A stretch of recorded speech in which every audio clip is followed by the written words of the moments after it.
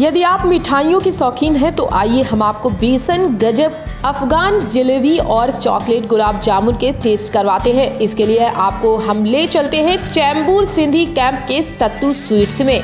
पिछले 50 सालों से अपनी अपनी अलग अलग वैरायटी की मिठाइयों के लिए मशहूर सत्तू स्वीट्स जो कि, जो भी मिठाइयाँ ले जाता है, वो हमेशा यही आने लगता है। अपने परिवार और रिश्तेदारों के लिए ही नहीं, बल्कि कई लोग अपने ऑफ़िस के लोगों के लिए भी यहीं से मिठाइयाँ ले जाते हैं। कॉरपोरेट्स के भी लोग कई किलो मिठाइयाँ ले जाने के लिए सत्तू स्वीट्स ही पहुँचते हैं।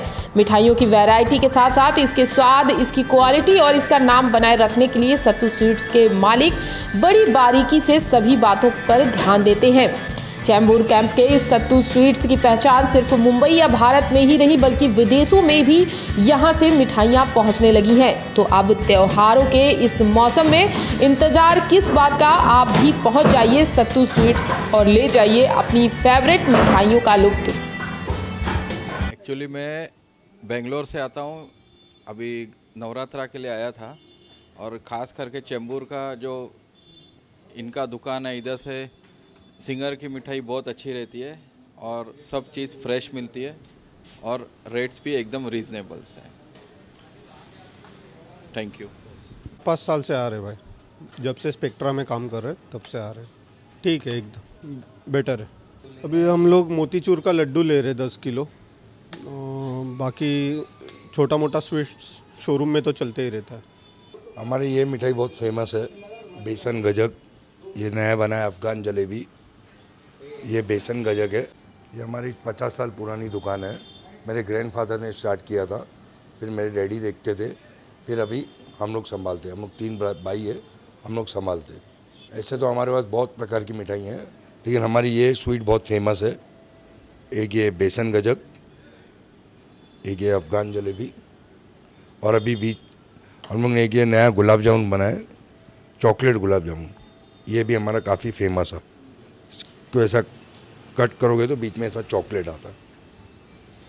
और हाल ही में एक और बनाया है ये मलाई राजभोग। ये भी काफ़ी चलता है फ़ेमस है। काफ़ी सालों से आते बोलते हैं क्वालिटी में बहुत अच्छा हो गया है पहले से दुकान भी अच्छी बनाई है पहले सिंपल दुकान होती थी अभी एसी कर दिया है तो उससे भी काफ़ी फ़र्क पड़ता है। थोड़ा हाइजीन हो गया।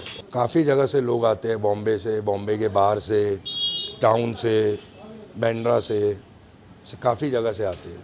अभी बेंगलोर से, काफ़ी जगह हमारे दिल्ली से हमारे कस्टमर है जो कॉल करते हैं हमको, हमसे मंगाते हम उनको बेचते हैं कोरियर के थ्रू काफ़ी जगह से।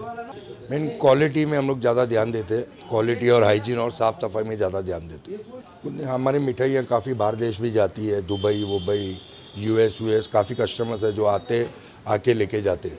उनको मिठाई भी हमारी सब पेरिशेबल जैसे ये मिठाई है हमारी बेचन गजक। इसको आप पंद्रह दिन रखोगे, ख़राब नहीं होती है। तो काफ़ी कस्टमर्स प्रीफर करते लेके जाना। लेके जाते और रिस्पॉन्स भी अच्छा रहता है उनका।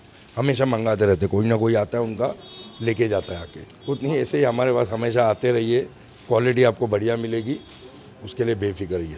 ये शॉप हमारी पचास साल पुरानी है। यहाँ हम अच्छा क्वालिटी का चीज़ यूज़ करते हैं, ताकि कस्टमर्स जो जिनको अच्छा लगता है, वो सब आते हैं। दोबारा आते हैं बार बार आते रहते हैं। और बाकी हमारी काफ़ी सारी वैरायटी आप देख सकते हैं यहाँ पे। We have approx two two three hundred varieties of sweets at a time हम लोग देते हैं। और हाल ही में रिसेंटली एक यूएस का फूडी था एक अ, उनका नाम है रैंडी सैंडल वो यहाँ पे आए थे जलेबी का चैलेंज कंप्लीट करने अपना। One kilo jalebi challenge complete करने। तो उन्होंने बहुत अच्छे से किया। पहले में वो मिस हो गए दो मिनट से फिर अगली बार वापस आए वो, दोबारा आए थे, अगले दिन पे, और उन्होंने अपना चैलेंज कंप्लीट किया। Please do come at Sato sweets you will get a good quality of food and taste and variety of sweets you will get over here so please do come thank you.